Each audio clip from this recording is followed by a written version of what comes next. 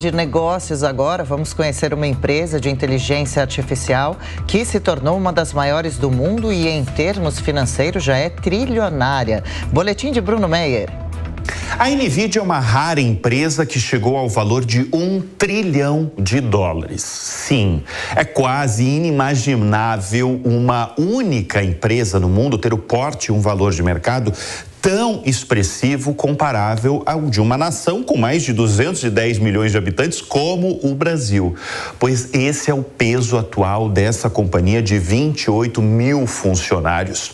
Outras poucas empresas, como Google, a Microsoft, ostentam o título de trilionárias. A Apple, por exemplo, vai além, está perto de atingir 3 trilhões de dólares graças às vendas dos imbatíveis iPhones. Mas vamos falar da Nvidia. A Nvidia foi fundada em 1993 no estado norte-americano da Califórnia e é o mais concreto caso de transformação nos negócios e na economia que os avanços nos sistemas de inteligência artificial podem trazer.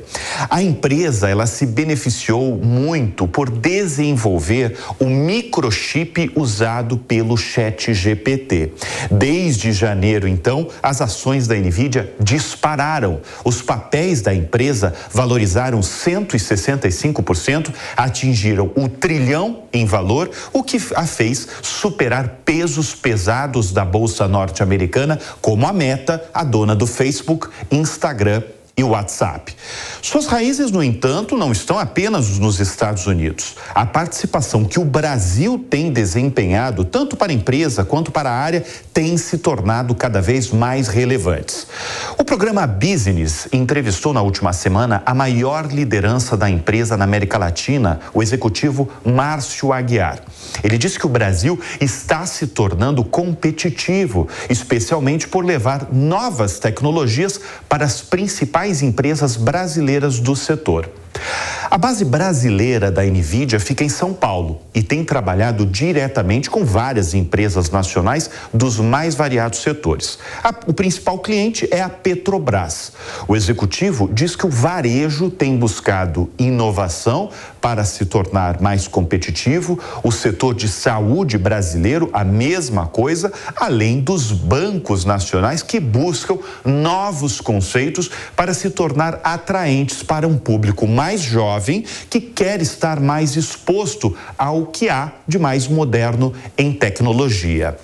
A Nvidia ficou famosa pelo produto que está na origem de seu lançamento, a fabricação de chips para videogames. Mas a empresa aprendeu uma lição básica dos negócios que muito empreendedor esquece: não se acomodar. De expert em games, ela foi dividida em duas partes games e a área de inteligência artificial, robótica, carros autônomos, data centers e os supercomputadores. Para o executivo, o segredo é ter uma mentalidade de startup, trabalhar com inovação, ser ágil e atender a demanda do nosso cliente final.